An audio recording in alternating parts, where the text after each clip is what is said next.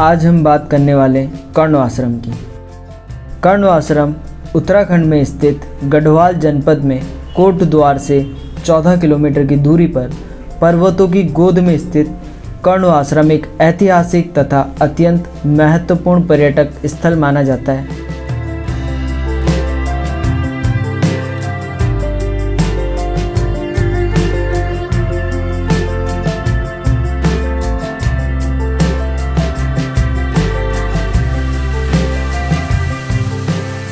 मालनी नदी के तट पर स्थित कर्ण आश्रम एक अनूठा आश्रम है और यह घने जंगलों और सुरमय पहाड़ियों से घिरा हुआ है।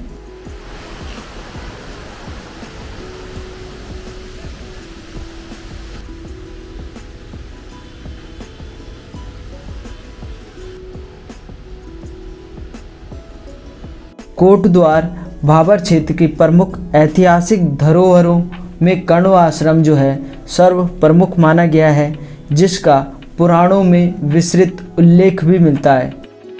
हज़ारों वर्ष पूर्व, पौराणिक युग में जिस मालनी नदी का उल्लेख मिलता है, ये स्थान ऋषि मुनियों की तप स्थली भी थी, जहाँ पर वे साधना में लीन मोक्ष की प्राप्ति के लिए कठोर तप करते थे और कर्ण आश्रम वही आश्रम है जहाँ हस्तिनापुर के राजा दुष्यंत तथा शकुंतला के प्रणय के पश्चात भरत का जन्म हुआ था।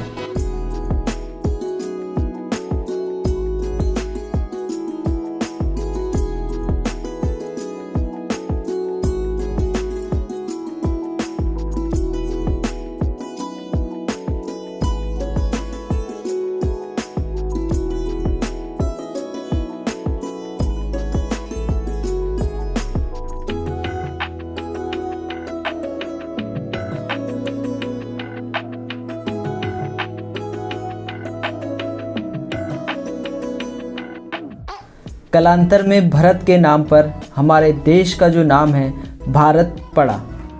शकुंतला, ऋषि विश्वमित्र व अप्सरा मेनका की पुत्री थी। माली नदी के तट के दोनों ओर उगे घनघोर जंगल के बीच कर्ण आश्रम में इस बहादुर बालक ने अपना बचपन, जंगली जानवर तथा शेरों के बच्चों के साथ खेलते हुए बिताया। बड़े होकर इस बालक को चक्रवर्ती सम्राट भरत के नाम से जाना गया, जिसने इस विशाल भूखंड पर कई वर्षों तक राज्य किया।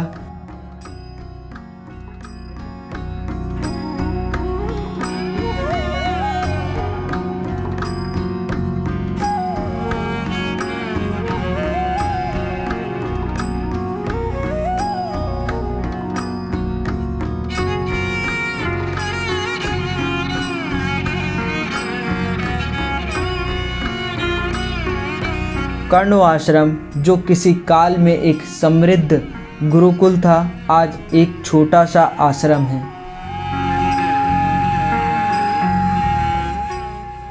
इस नवीन आश्रम में पाँच प्रतिमाएँ हैं कण्व ऋषि, कश्यप ऋषि, शकुंतला, दुष्यंत एवं पांचवी प्रतिमा भरत की है, जिन्हें शेर के दांत गिनते दिखाया गया है। कर्ण आश्रम के आसपास के क्षेत्र में कई फलदार वृक्ष हैं।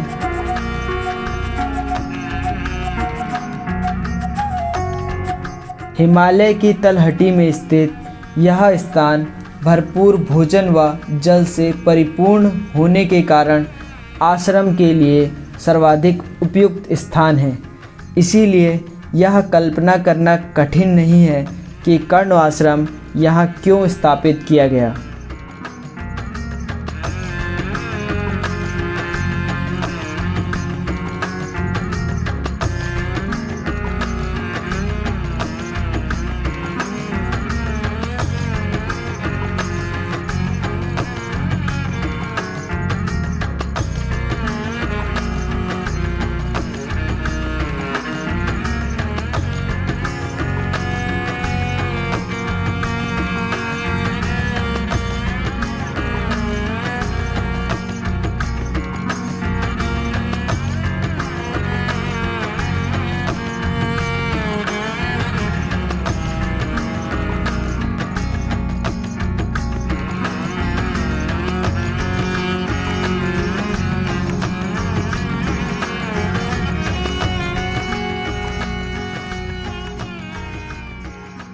हर वर्ष बसंत पंचमी के अवसर पर कर्ण आश्रम में तीन दिन तक मेला चलता है।